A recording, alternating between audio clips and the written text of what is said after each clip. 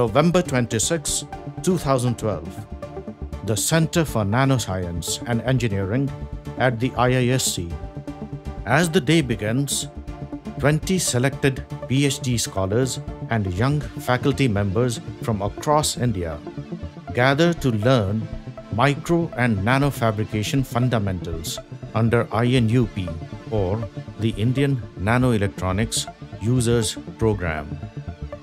The participants form four groups, each with a different device to fabricate. One of these devices is the cantilever. During orientation, participants are introduced to facilities at CeNSE's National Nanofabrication Center and the potential to conduct hands-on research.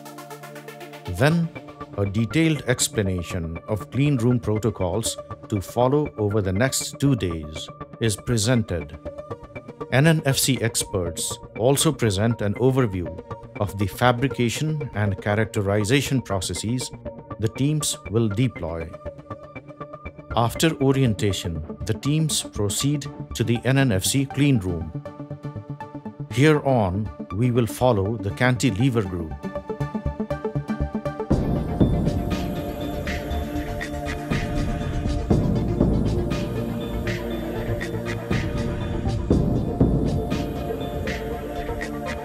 At the outset, let's define the object our team will fabricate, namely a MEMS cantilever. A cantilever is a projecting structure such as a beam which is supported at one end only. It may carry a load at the free tip or along its length. Next, let's identify the broad microfabrication technology we shall employ, which is surface micromachining. This approach requires a silicon on insulator or SOI wafer, which is a three-layer material stack composed of the following.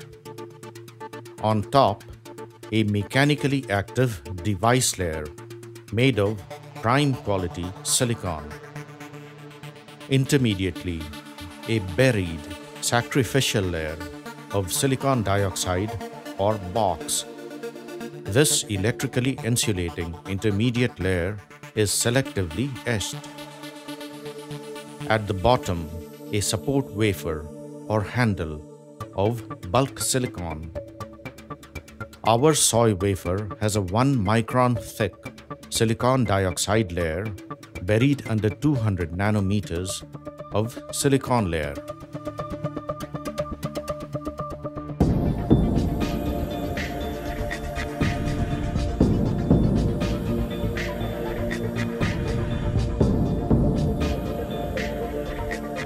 We initiate MEMS cantilever fabrication by cleaning the SOI wafer. This is done in the wet etch bay. First, we place the samples in a wafer holder and dip it in the piranha bath of the wet bench. The samples are kept in the solution for 10 minutes. The piranha solution removes any organic and metallic contaminants from wafer surfaces.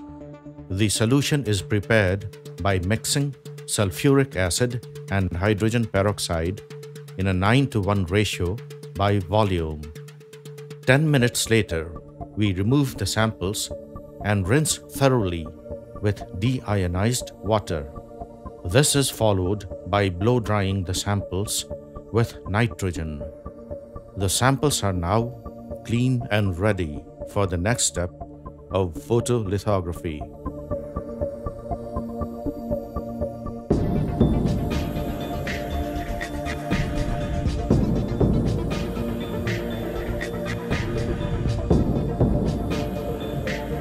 For the next step, we move to the lithography bay, which has a cleanliness level of class 100. Here, we shall transfer cantilever patterns from a glass mask onto the cleaned wafers. First, we dehydrate the samples at 250 degrees Celsius for 10 minutes to remove surface moisture. Next, we spin coat the wafer's device layer with photosensitive resist of nearly 1 micron thickness. Rapid spinning causes the liquid photoresist to spread uniformly on the wafer surface due to centrifugal forces. In this three-dimensional model, we see that the photoresist layer covers the entire device layer in even thickness. We now move the resist-coated samples for soft baking on an adjacent table. Soft baking is done at 95 degrees Celsius to evaporate the solvents in the photoresist. The soft-baked photoresist will not stick to the glass mask during the next step. In a similar way, we process the entire batch of wafers. We are now ready for cantilever pattern transfer, which takes place on a separate workstation. NNFC has an EVG double-sided mask aligner. First, we pick a cantilever mask prefabricated especially for INUP from our mask library. The mask consists of transparent and opaque parts that define a desired pattern. When we place this mask over the resist-coated sample and exposed to UV light, cross-link bonds in the resist are broken. We first load the samples onto the mask aligner tray. Then we place the mask on the wafer. Now the assembly is ready for ultraviolet exposure. UV light exposure is done at predefined energy levels specified in millijoules per centimeter square. After UV exposure, we must develop the pattern on the sample's photoresist. For this, a specified developing solution is taken in a petri dish. Next, we place the UV exposed samples in the developing solution. The photoresist now contains exposed and unexposed areas. The exposed part is soluble in the developing solution. Therefore, it dissolves, leaving behind a replica of the mask pattern. Once the pattern is developed, the sample is rinsed with DI water and given a nitrogen blow dry. We have now created the cantilever pattern on our sample's photoresist layer. To confirm, we make a quick microscopic inspection. The cantilever pattern shows up clearly on the microscope's display screen.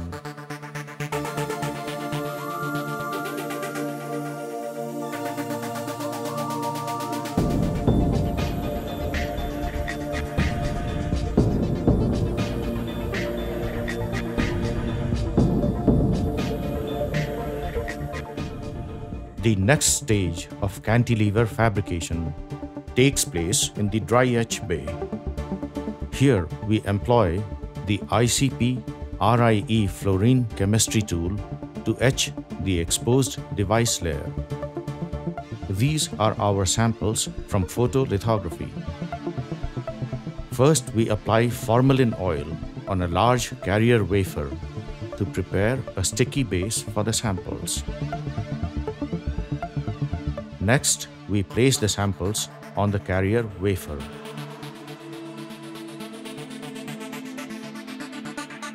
We now load the samples into the RIE station load lock chamber. Next, using the graphical user interface of the station, we create a vacuum in the load lock. Then the samples are transported into the RIE main chamber gases start flowing inside the chamber at specified flow rates and temperature. Plasma strikes when appropriate conditions are reached. For our device layer of 200 nanometers, we have specified an etching time of 2 minutes. Let's understand in depth what happens inside the system. We are now watching the sample in an ions and plasma environment. Fluorine ions in the plasma start etching the exposed silicon following a chemical reaction. After etching, we unload the samples from the RIE equipment. Since the bottom surface of the sample has Fomblin oil, we wipe it away with lint-free cloth. We now have the cantilever pattern on the device and photoresist layers.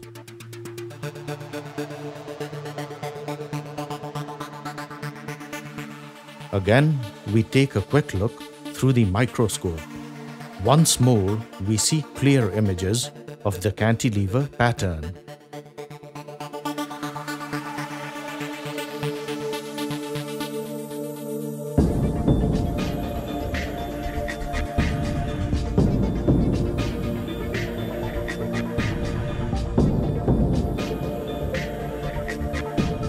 To remove the photoresist layer, we return to the wet etch bay.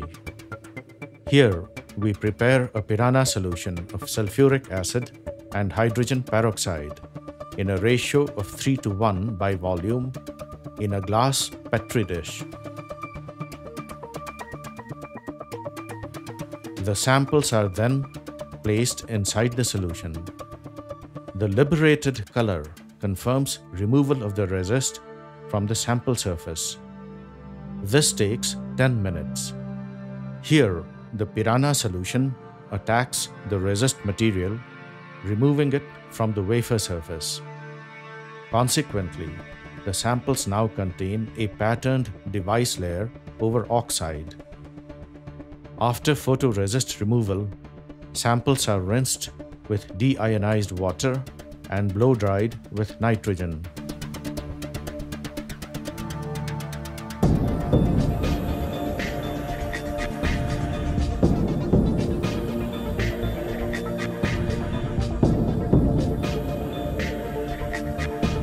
Next, we come to the critical step of cantilever release using wet etch. Here, the buried silicon dioxide layer will be etched out with buffered hydrofluoric acid. The BHF solution has been previously prepared at the NNFC to etch at the desired rate. Since the anchor regions are much larger than the beam regions, some oxide remains intact under the anchors after isotropic wet etch, creating a suspended cantilever anchored to the substrate. This is followed by a rinse with DI water and isopropyl alcohol. Here, care is taken to let samples remain in liquid. Otherwise, chances of stiction or cantilevers sticking to the substrate are high.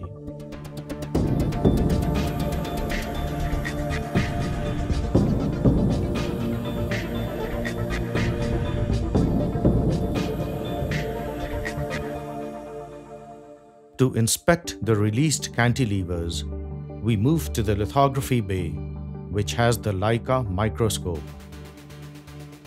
The inspection must be carried out on submerged wafers from the previous step to avoid stiction. The release is confirmed by noticing that the cantilever and the substrate require differential focusing.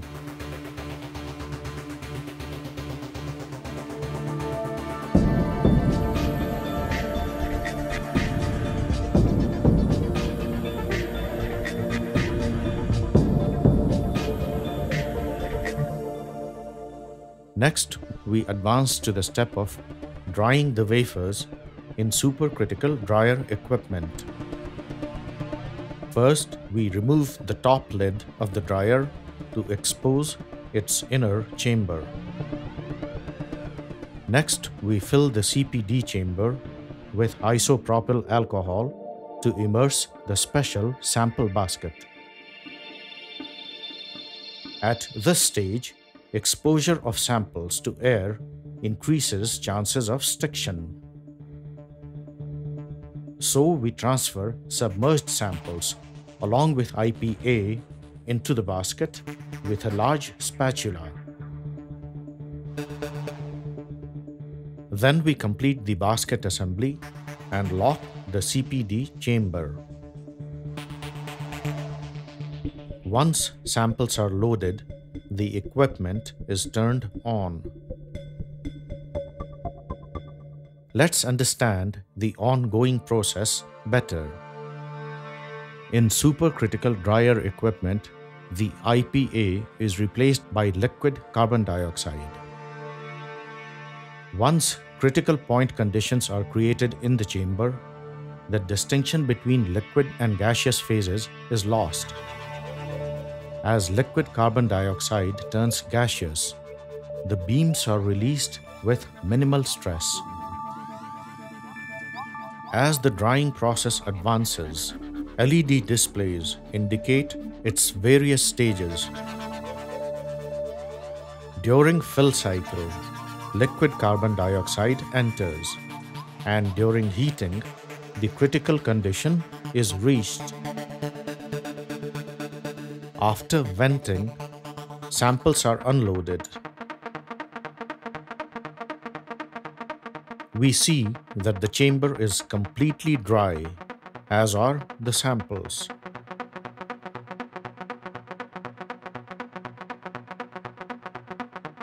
Unloaded samples are then taken to the characterization facility for final performance testing.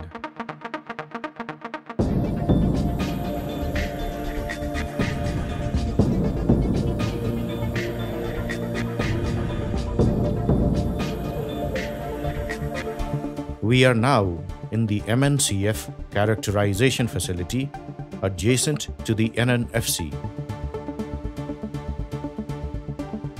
Here, we shall use a scanning laser Doppler vibrometer to verify that cantilever beams have indeed been released and therefore are functional. The laser vibrometer has a source of variable AC voltage that is applied across the sample's top and bottom silicon layers to create vibrations. The equipment has two probes to apply the voltage, a display screen, and specialized software to analyze vibration data. After placing the sample on the vibrometer, we position the probes to make contact with the cantilever's handle and the beam anchor in the device layer. Then we apply a specified voltage and observe the frequency response of the vibrating cantilever beams. The vibrometer picks up resonant frequencies of the fabricated cantilevers and displays corresponding velocity peaks. This confirms that our team has successfully created functional cantilevers. The vibrometer software also allows identification of vibration modes such as first and second, by synthesizing a 3D animation from data taken along a user-defined path.